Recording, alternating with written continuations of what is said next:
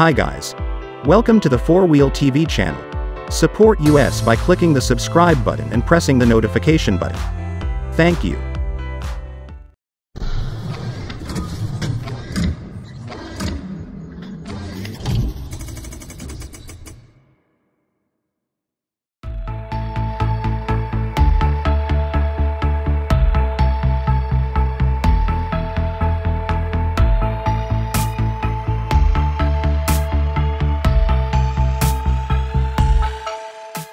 Our primary attention falls on the front fascia. Porsche is fond of using black tape on black prototypes to hide details, and it generally works. In this instance, it doesn't hide the size of the large lower intakes, which appear a bit larger here. It also doesn't hide the active aero vents, which move to a vertical arrangement.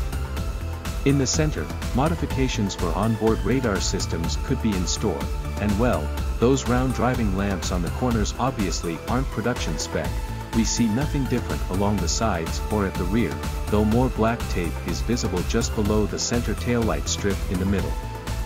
It's possible something neat could happen with the taillight, but it could also hide Porsche badging.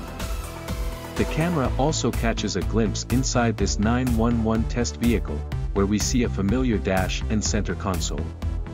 One thing we don't see is the instrument cluster, it's covered up and that suggests the 911 will get something fresh and modern, perhaps borrowed from the Porsche Taycan, we don't have any information about power upgrades at this point. If there are additional ponies under the big spoiler, it will likely be only a few. And since this is our first sighting, we probably have lots of time until an official word comes from Stuttgart. Odds are we'll see changes come first to the Carrera, though they might not be identical to the Turbo. In any case, 2023 is our target date for the refreshed 992 to appear.